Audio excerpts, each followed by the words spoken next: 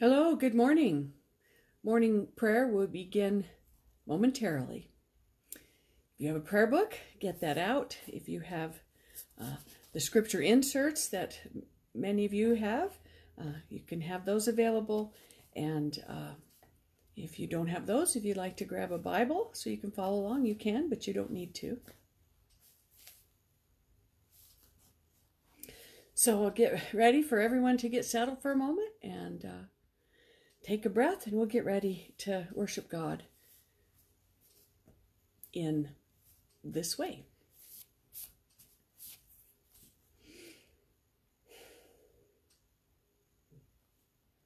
I want to extend welcome to you on behalf of all the people of St. Luke's Episcopal Church in Billings, Montana. I'm the rector, Melinda St. Clair, and uh, it's my privilege to be with you in this physically distanced way this morning as we worship God with morning prayer. Um, and so please turn to page 77 in your prayer book. Page 77.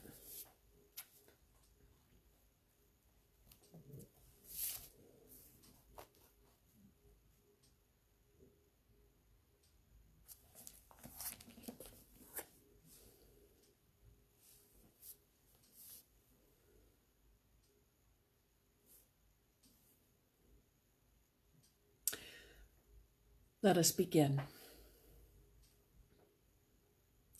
Christ has entered not into a sanctuary made with hands, a copy of the true one, but into heaven itself, now to appear in the presence of God on our behalf. You shall receive power when the Holy Spirit has come upon you, and you shall be my witnesses in Jerusalem and in Judea and Samaria and to the ends of the earth. It has always been my habit to omit, to skip the confession of sin during Easter season, and so we're going to skip it today. I want to have you turn to page 80, where we will continue with the invitatory and psalter. On page 80. I invite you to please say the responses with me out loud, even if you're by yourself. Don't feel silly. I'm here by myself too. Uh, I will say them, but I invite you to say the parts that are for all of us to say out loud. And so, beginning on page 80, Lord, open our lips, and our mouth shall proclaim your praise. Glory to the Father, and to the Son, and to the Holy Spirit, as it was in the beginning, is now, and will be forever. Amen. Alleluia.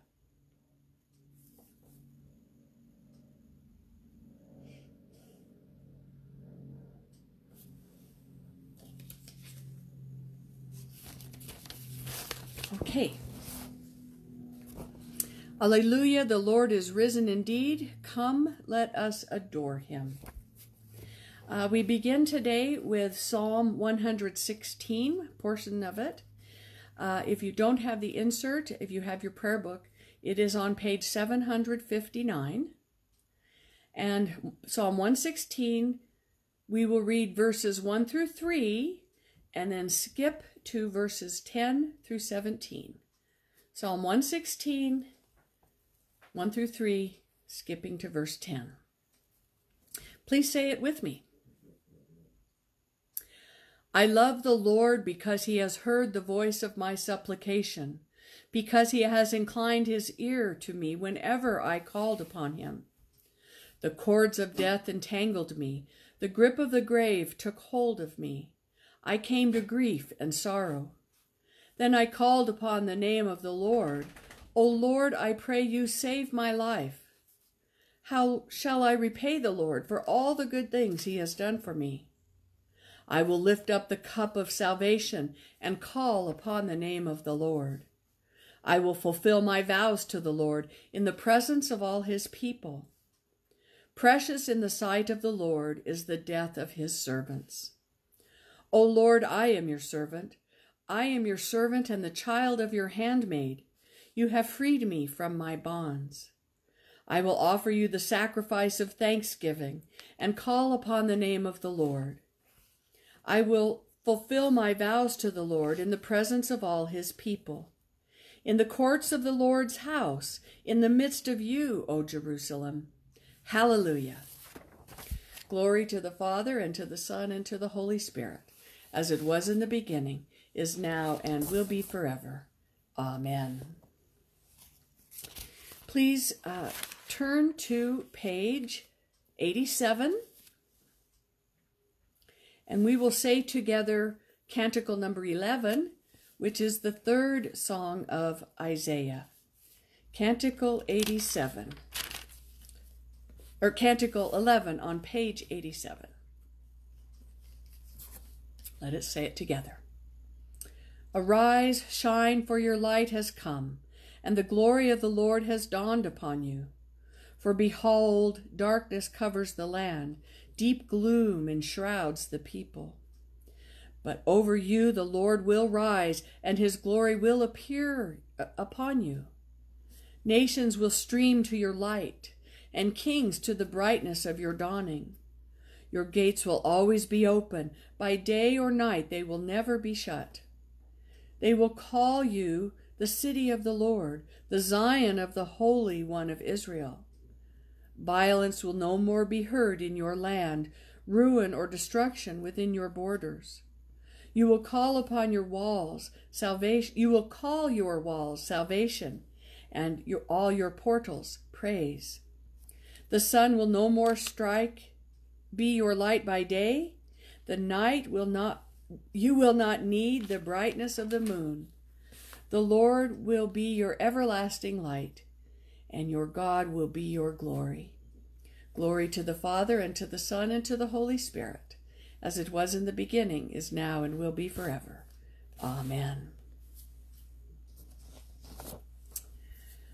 Our first reading today is from the Acts of the Apostles, Acts chapter 2, beginning with verse 14a, but then skipping ahead to verse 36.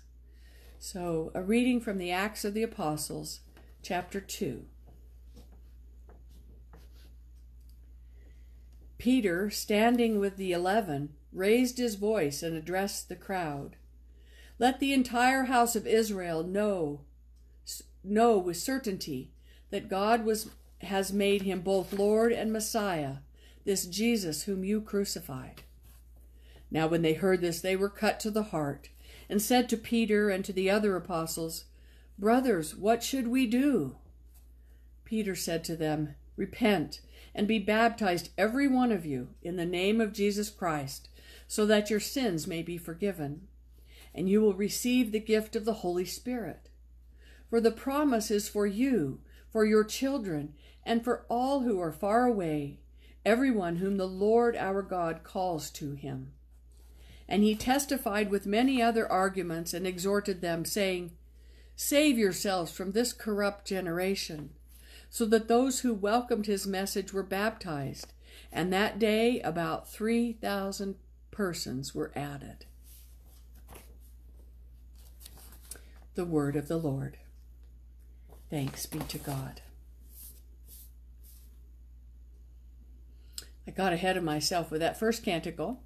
So we're going to uh, go ahead and do the second reading, which we should do the canticle right now. And uh, we'll do the next canticle after this second reading. Uh, the second reading is from the first letter of Peter, uh, chapter 1, verses 17 through 23. So we continue to hear from Peter in his first letter, chapter 1, verse 17. If you invoke as Father the one who judges all people impartially according to their deeds, live in reverent fear during the time of your exile. You know that you were ransomed from the futile ways inherited from your ancestors, not with perishable things like silver or gold, but with the precious blood of Christ, like that of a lamb without defect or blemish. He was destined before the foundation of the world but was revealed at the end of the ages for your sake. Through him you have come to trust in God, who raised him from the dead and gave him glory, so that your faith and hope are set on God.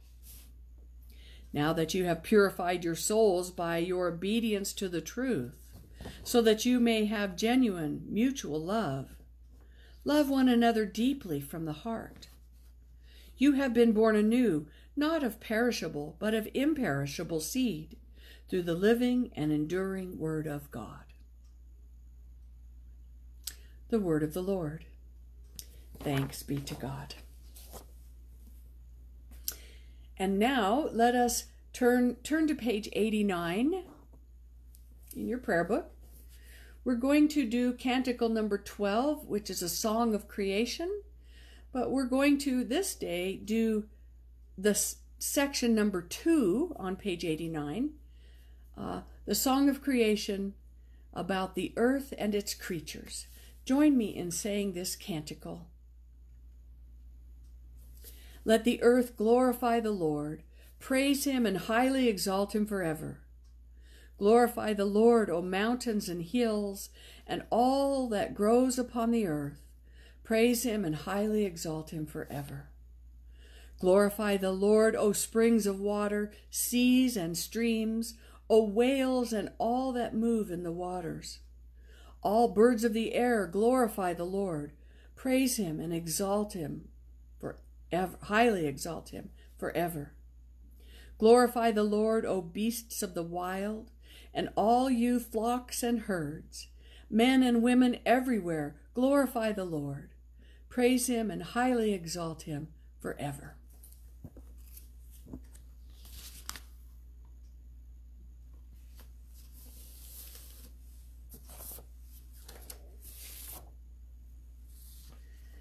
The gospel reading for today is from the Gospel according to Luke, chapter 24, verses 13 through 35. Gospel of Luke, chapter 24, beginning with verse 13. Gospel according to Luke. Now, on that same day, two of Jesus' disciples were going to a village called Emmaus, about seven miles from Jerusalem and talking with each other about all these things that had happened. While they were talking and discussing, Jesus himself came near and went with them, but their eyes were kept from recognizing him. He said to them, What are you discussing with each other while you walk along? They stood still, looking sad. Then one of them, whose name was Cleopas, answered him, are you the only stranger in Jerusalem who does not know the things that have taken place in these days? He asked them, What things? They replied, The things about Jesus of Nazareth, who was a prophet, mighty in deed and word before God and all the people, and how our chief priests and leaders handed him over to be condemned to death and crucified him. But we had hoped he was the one to redeem Israel. Yes, and besides all this, it is now the third day since these things took place. Moreover, some women of our group astounded us. They were at the tomb early this morning, and when they did not find his body there, they came back and told us that they had seen a vision of angels who said that he was alive. Some of those who were with us went to the tomb and found it just as the women had said, but they did not see him.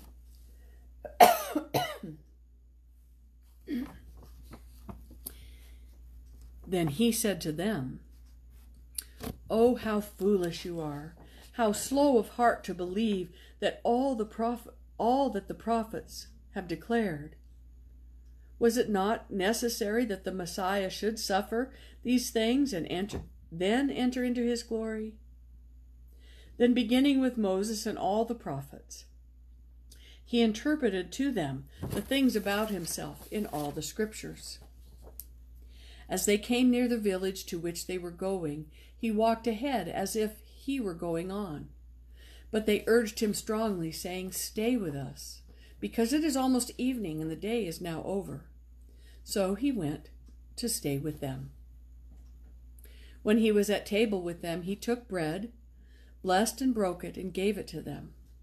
Then their eyes were opened, and they recognized him, and he vanished from their sight. Then they said to each other, Were not our hearts burning within us while he was talking to us on the road, while he was opening the scriptures to us? That same hour they got up and returned to Jerusalem, and they found the eleven and their companions gathered together. They were saying, The Lord has risen indeed, and he has appeared to Simon. Then they told what had happened on the road, and how he had been made known to them in the breaking of the bread. The word of the Lord. Thanks be to God.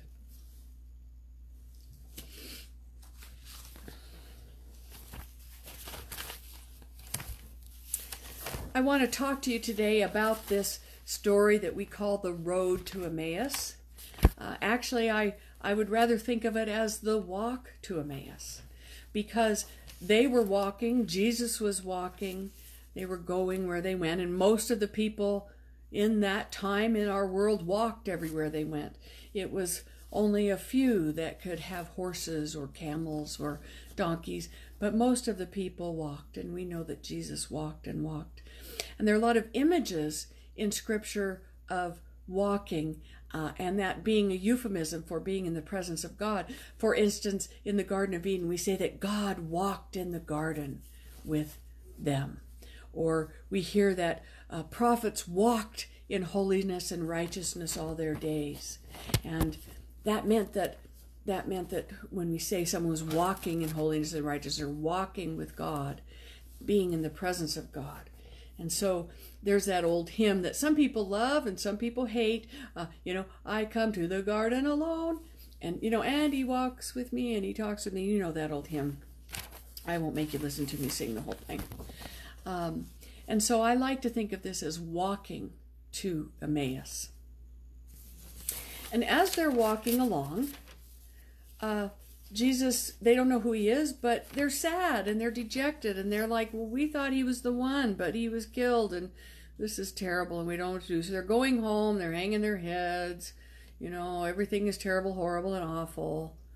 Uh, and Jesus shows up and walks with them and says, hey, what you guys talking about?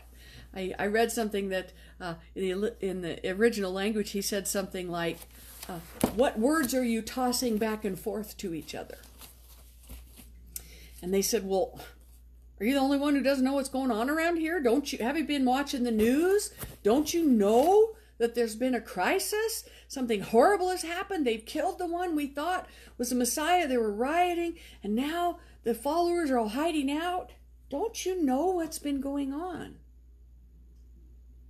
And he says, Look, you foolish people. How can you not see that this is exactly what was supposed to happen? and that it's a good thing. And he proceeds to interpret the things in their scriptures, what we call the Old Testament and the Hebrew scriptures. He interprets to them all the stuff in the scripture, the Hebrew scriptures that are about himself, the messianic prophecies, if you will.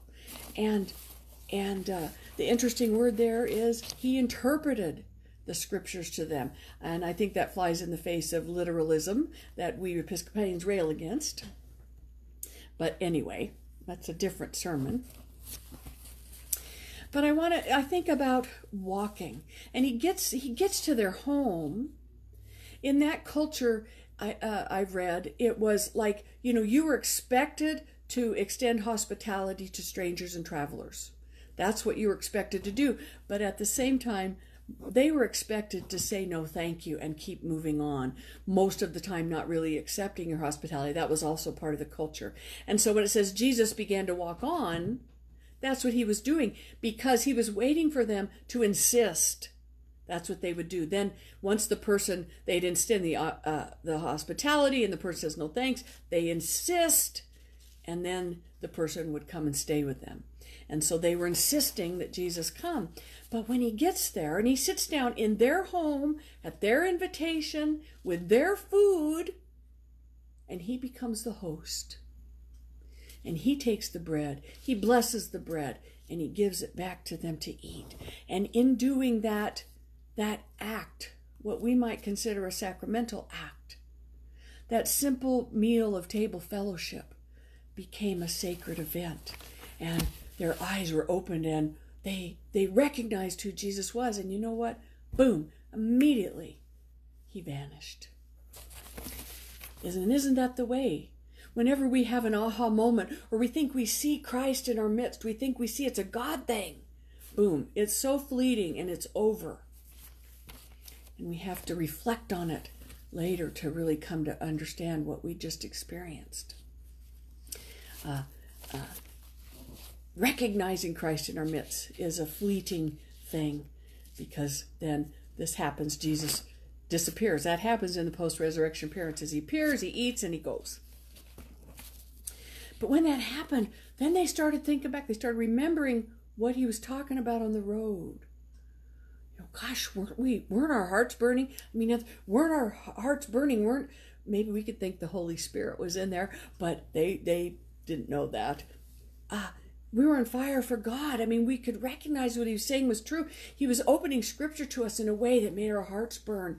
And they went, Yeah, so it's true. And they got up right then, they went straight back seven miles or so to, to tell what they had just experienced. And they found the group saying, Yeah, he's appeared. We've seen him. It's true. And they said, Well, yeah, we saw him too. And let me tell you what happened. He's not celebrating the Eucharist with him. This wasn't like the Last Supper. It was a simple meal shared with others in which Jesus eats and God is revealed. My Old Testament professor used to like to say, and uh, Ellen Davis uh, used to tell us that every time Jesus eats, God is revealed.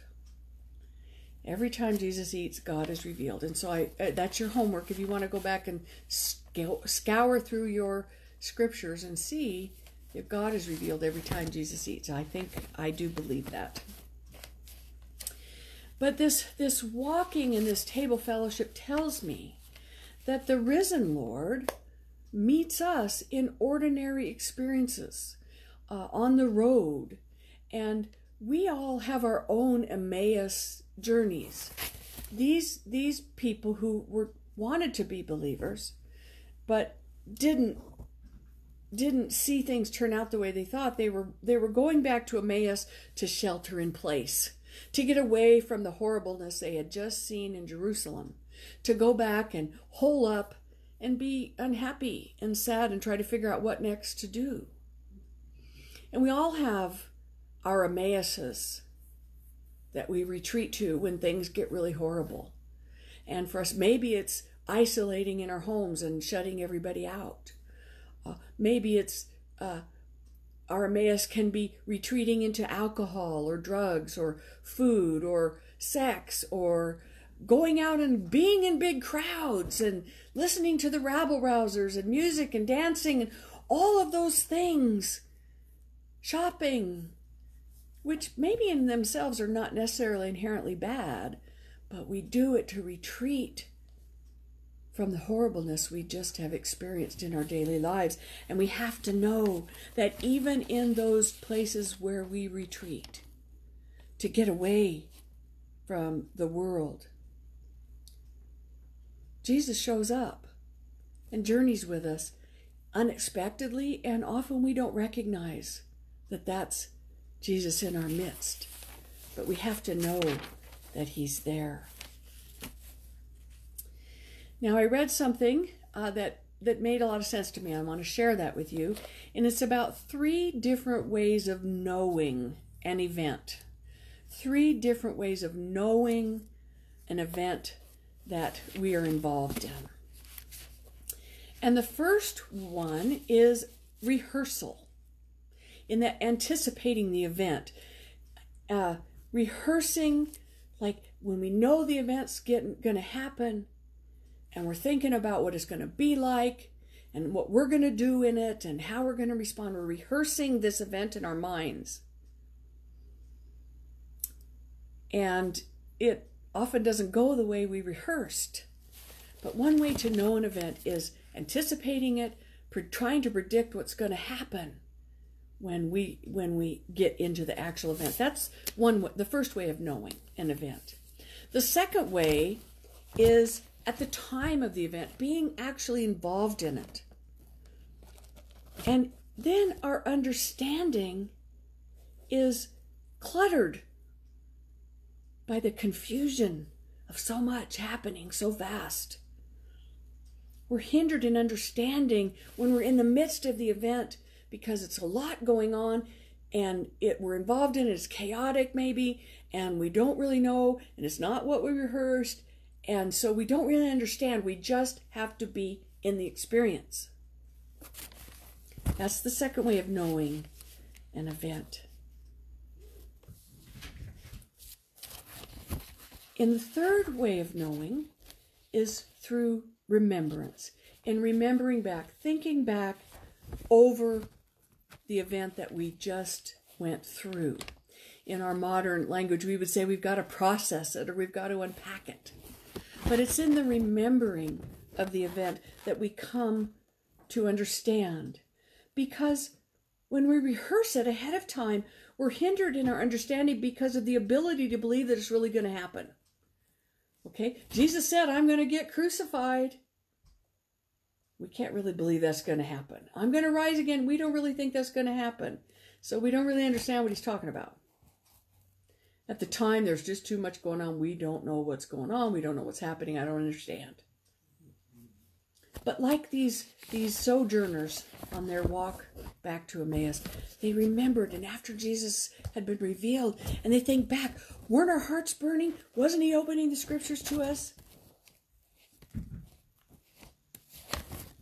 our understanding is opened up when the nonsense of the rehearsal and the busyness of the event is over, and that gives way to recognition and realization and understanding. We're kind of in that same boat right now. We've got events going on in our world that first we didn't really think they were going to happen oh, this won't be so bad. This pandemic, uh, it will pass. We're just going to be sick for a little while. Uh, our lives will be disrupted for a little bit of a while. We're rehearsing what's going to happen in the pandemic, and we can't really believe it's going to be as horrible as we, as people say it's going to be. So we don't understand what's going to happen, what is happening, not going to what is happening.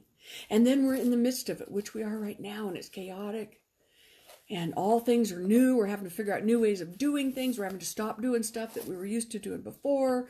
And, you know, people are dying, people are getting sick. We don't, you know, people are saying different things. It's chaotic, it's crazy, it's just something it's so hard to wrap our minds around. We don't have time to sit and process the way our world has changed, the way we're changed through this event that we're living through right now.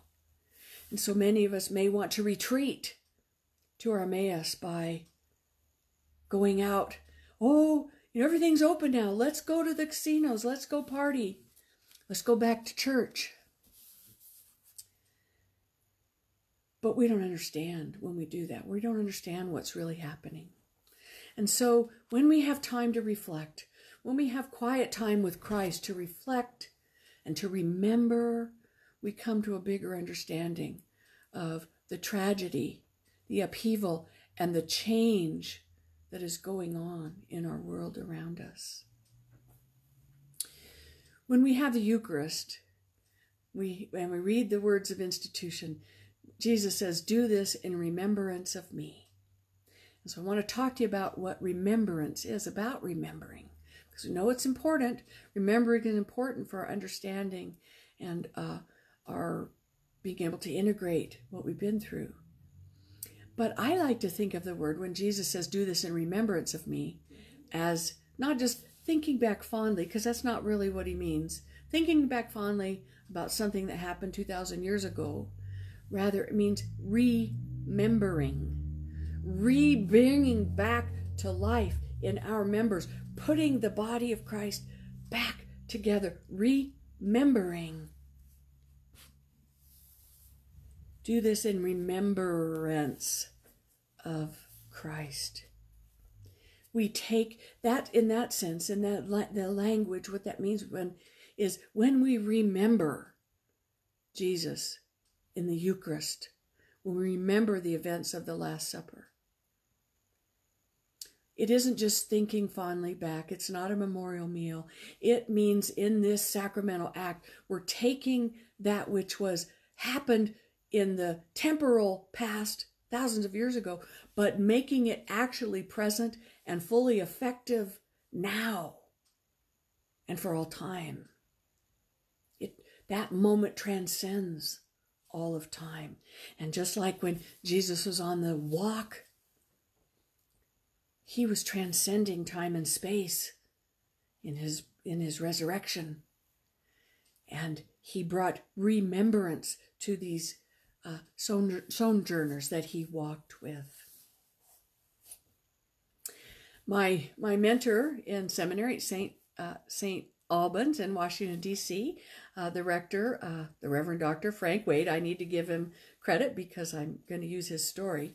Uh, to, like to t- use this analogy, and it always resonated with me, so I remember it, uh, and I I call upon it. And he talks when he's talking about uh, our walk with Christ.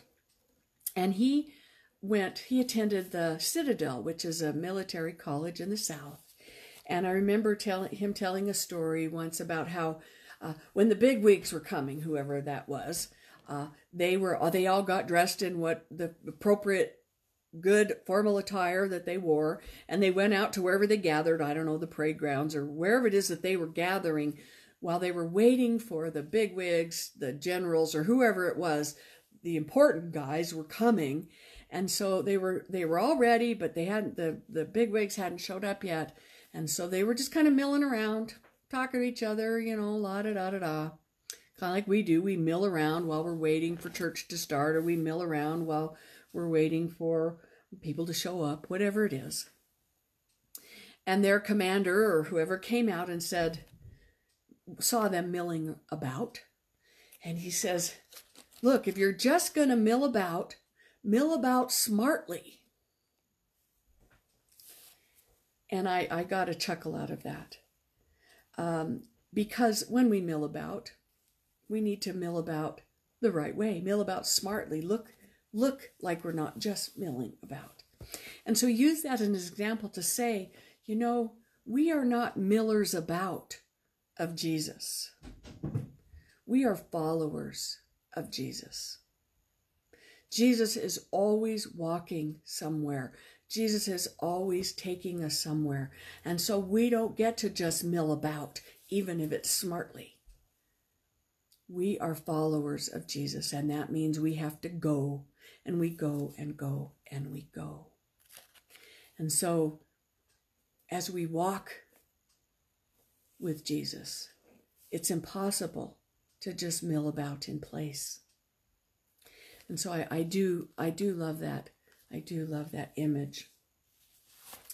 Um, remembering must take place for us to process what the event and to reshape our anticipation of the event when the rehearsal doesn't match what really happened, that's okay. We need to let go of the rehearsal. You know, that didn't go the way I thought it would. So we just need to try harder to do the exact same thing. This time it'll go right. That's not that's not how it works. We have to try new ways to see the world through new eyes because Jesus has brought us to a new day. I want to share a story with you. Some of you will uh, resonate with this because you were here um, and you'll know who I'm talking about.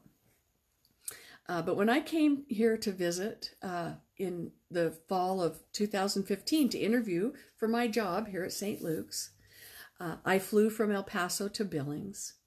And though I had Skyped with uh, the search committee, you know, there were a lot of people in the picture. I didn't remember, really remember at that point who they were or whose name went with what. They maybe didn't really know exactly what I looked like, certainly what I was going to look like getting off a plane. And so I was looking around, and as I was coming down the escalator in the Billings airport, I was looking around down at all the people and thinking, who are Lynn and Rose? because Lynn and Rose have been sent to fetch me from the airport. And I'm looking around. Who are Lynn and Rose? Where are Lynn and Rose? I was looking around for two ladies. And all of a sudden, I spotted these two women down over there. I can still picture them. And they were looking around, going, Is that, they were looking up at the people coming out and getting on the escalator. Is that her? Is that her? And all of a sudden, when I saw them and they saw me and our eyes met, we knew you're the one. I pointed at them and they pointed at me. You're the one. We recognized you're the one I'm looking for. Uh, and so we met. We knew who we were. And I, I, I remember that story with fondness because it was, it was a fun way uh, to enter Billings. But also, I think about looking for Jesus and we're looking around. Is that Christ? Is that Christ? And often, maybe we don't recognize Christ until we see Christ looking back at us. Is that Christ? No.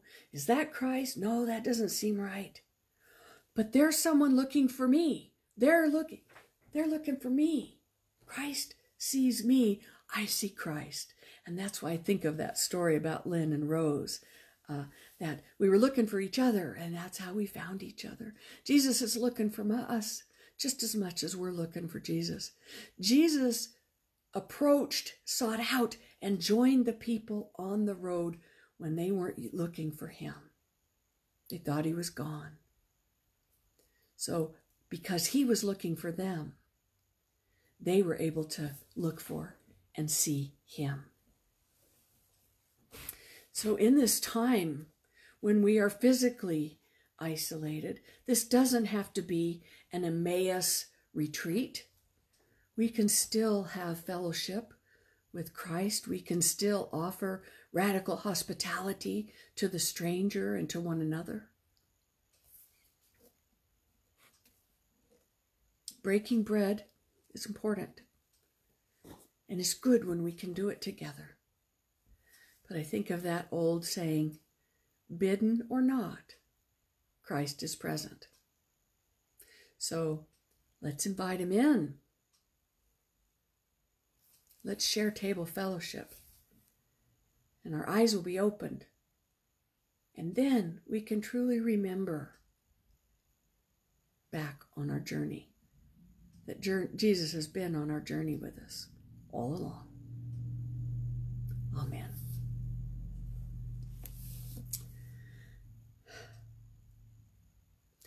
Please turn to page 96 and let us say together out loud the Apostles' Creed.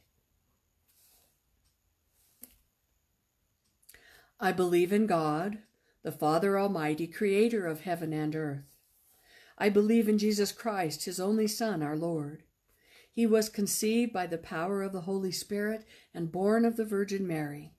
He suffered under Pontius Pilate was crucified, died, and was buried. He descended to the dead. On the third day he rose again. He ascended into heaven and is seated at the right hand of the Father. He will come again to judge the living and the dead.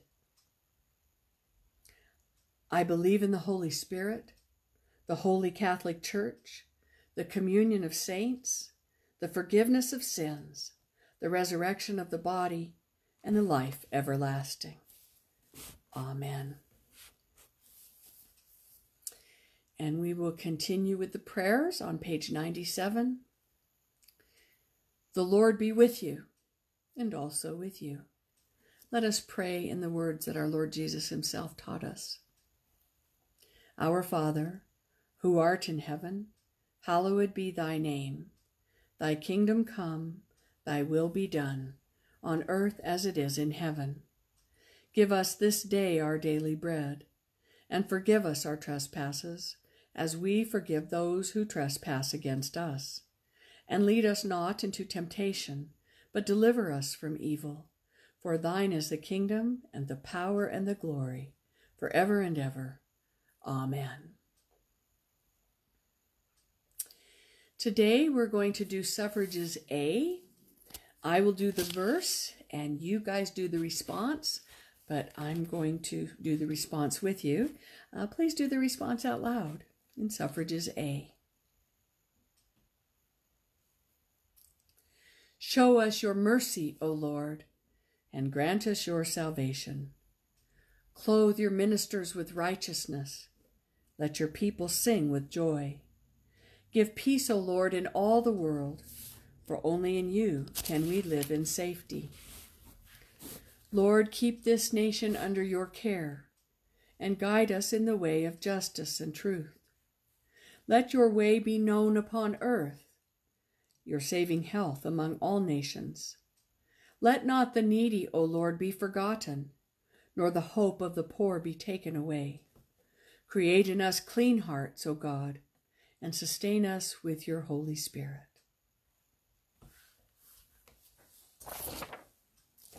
And this is the collect appointed for today, the third Sunday uh, in the Easter season. O God, whose blessed Son made himself known to his disciples in the breaking of bread, open the eyes of our faith that we may behold him in all his redeeming work, who lives and reigns with you in the unity of the Holy Spirit, one God, now and forever. Amen. We continue with a collect for Sundays and other collects. O God, you make us glad with the weekly remembrance of the glorious resurrection of your Son, our Lord. Give us this day such a blessing through our worship of you, that the week to come may be spent in your favor, through Jesus Christ our Lord. Amen. O God, the King eternal, whose light divides the day from the night and turns the shadow of death into morning. Drive far from us all wrong desires. Incline our hearts to keep your law, and guide our feet into the way of peace, that having done your will with cheerfulness during the day, we may, when night comes, rejoice to give you thanks. Through Jesus Christ our Lord. Amen. O God, the author of peace and lover of concord, to know you is eternal life, and to serve you is perfect freedom. Defend us, your humble servants, in all assaults of our enemies, that we, surely trusting in your defense, may not fear the power of any adverse adversaries, through the might of Jesus Christ our Lord. Amen. Heavenly Father, in you we live and move and have our being. We humbly pray you so to guide and govern us by your Holy Spirit, that in all the cares and occupations of our life we may not forget you, but remember that we are ever walking in your sight, through Jesus Christ our Lord. Amen.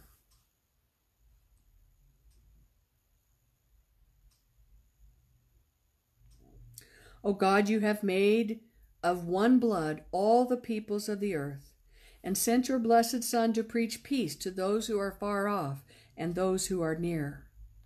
Grant that people everywhere may seek after you and find you. Bring the nations into your fold. Pour out your Spirit upon all flesh, and hasten the coming of your kingdom. Through Jesus Christ our Lord. Amen. The prayers of the people today are Form 2, which are on page 385 in your Book of Common Prayer, page 385. You will not need your prayer book uh, for this these prayers, but you may follow along if you like to. There will be ample silence. Hopefully, it's ample. If it's not, pray more later uh, for you to add your own prayers. So let us pray. I ask your prayers for God's people throughout the world, for our Bishop Marty, for this gathering, and for all ministers and people. Pray for the church.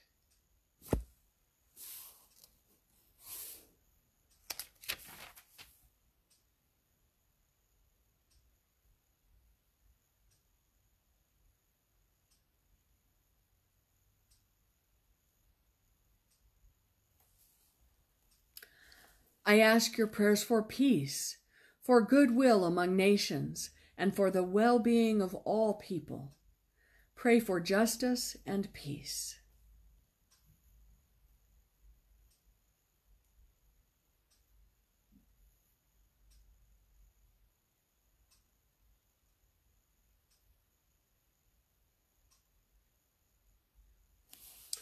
I ask your prayers for the poor, the sick, the hungry, the oppressed, and those in prison. Pray for those in any need or trouble.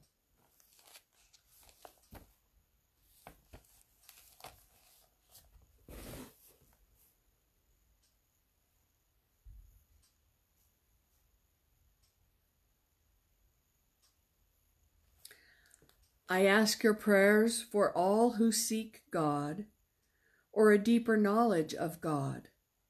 Pray that they may find and be found by God.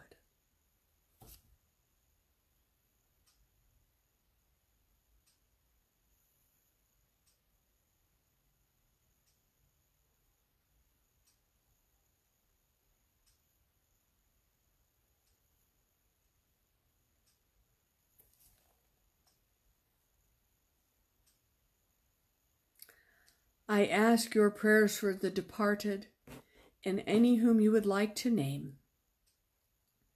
Pray for those who have died.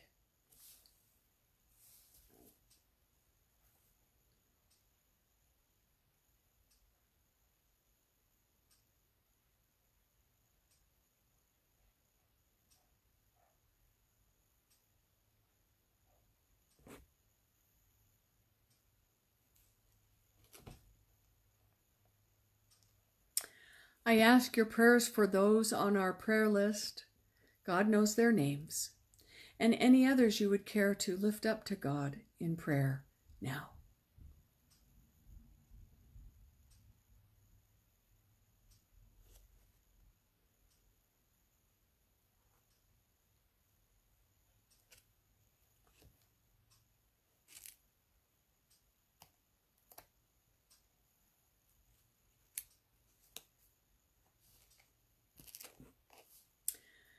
I ask your thanksgivings for anything you would like to lift up to God at this time.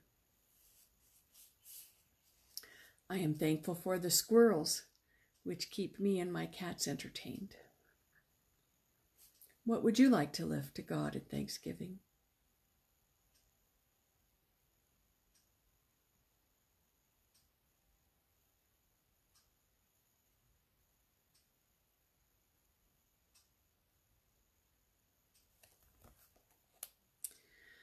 Praise God in for those in every generation in whom Christ has been honored, especially those giving up of their own lives to help those who are sick and dying. And any others we would like to remember today. Pray that we may have grace to glorify Christ in our own day. Amen. Keeping your finger back earlier, I want you to turn even farther forward in your prayer book to page 821. Page 821. And I'd like you to join me in the prayer uh, with the responses for prayer for sound government. Prayer number 22 on page 821. O Lord, our governor, Bless the leaders of our land, that we may be a people at peace among ourselves and a blessing to other nations of the earth. Lord, keep this nation under your care. To the President and members of the Cabinet, to governors of states, mayors of cities, and to all in administrative authority, grant wisdom and grace in the exercise of their duties. Give grace to your servants, O Lord to senators and representatives, to those who make our laws in states and cities and towns, give courage and wisdom and foresight to provide for the needs of all our people and to fulfill our obligations in the community of nations. grace to us. Give grace to your servants, O Lord. To the judges and officers of our courts, give understanding and integrity, that human rights may be safeguarded and justice served. Give grace to your servants, O Lord. And finally, teach our people to rely on your strength and to accept their responsibilities to their fellow citizens, that they may elect trustworthy leaders and make wise decisions for the well being of our society, that we may serve you faithfully in our generation and honor your holy name. For yours is the kingdom, O Lord, and you are exalted as head above all. Amen. And now turn forward again, please, to page 836. Page 836. And join it with join me in saying a general thanksgiving.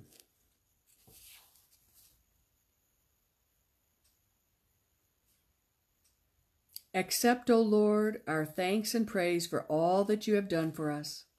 We thank you for the splendor of the whole creation, for the beauty of this world, for the wonder of life, and for the mystery of love. We thank you for the blessing of family and friends, and for the loving care which surrounds us on every side. We thank you for setting us at tasks that demand our best efforts and for leading us to accomplishments which satisfy and delight us. We thank you also for those disappointments and failures that lead us to acknowledge our dependence on you alone. Above all, we thank you for your Son, Jesus Christ, for the truth of his word and the example of his life, for his steadfast obedience by which he overcame temptation, for his dying through which he overcame death, and for his rising to life again, in which we are raised to the life of your kingdom. Grant us the gift of your Holy Spirit, that we may know Christ and make him known and through Christ at all times and in all places, may give thanks to you in all things. Amen. And now, please turn back to page 102. Page 102. Please join me in saying out loud a prayer of St. Chrysostom. Almighty God, you have given us grace at this time with one accord to make our common supplication to you. And you have promised through your well beloved Son that when two or three are gathered together in his name, you will be in the midst of them. Fulfill now, O Lord, our desires and petitions as may be best for us, granting us in this world knowledge of your truth, and in the age to come life everlasting. Amen. May the peace of God, which passes all understanding, keep your hearts and your minds in the knowledge and love of God. And the blessing of God Almighty, the Father, the Son, and the Holy Spirit be upon you and remain with you always. Amen.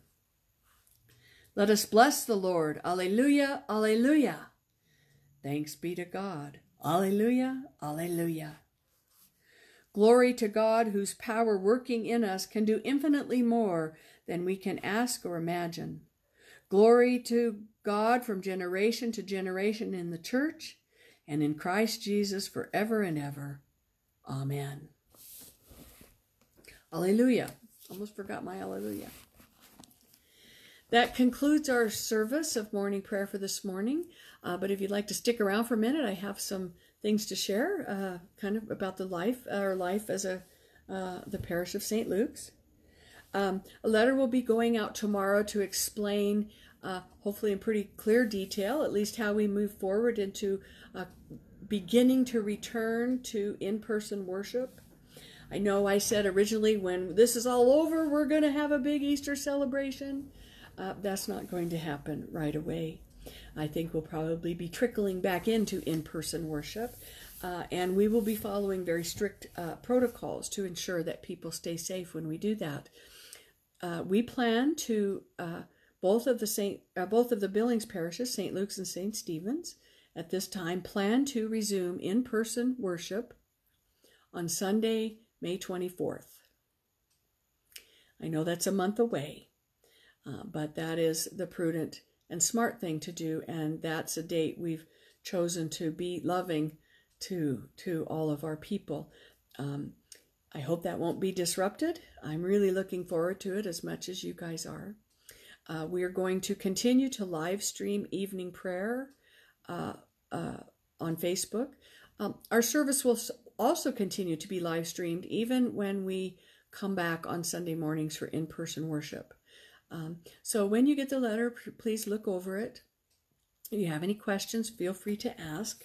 Uh, as we know that uh, this returning is becoming a phased thing, and uh, uh, we will continue to walk together, though. So, if you have any needs, please tell me or your Eucharistic visitor who's calling you.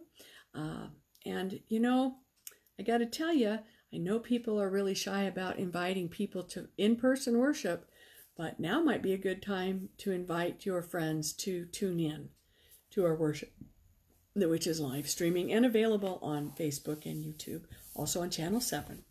So I'll share that with you. I miss you. I love you. And uh, take care of each other and walk in love as Christ loves us. Go in peace to love and serve the Lord. And have a good Sunday. Bye bye.